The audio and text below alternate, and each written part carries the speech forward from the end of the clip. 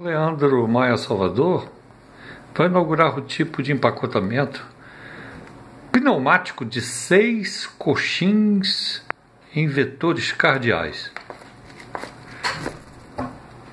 Totalmente pressurizada, até cinco atmosferas.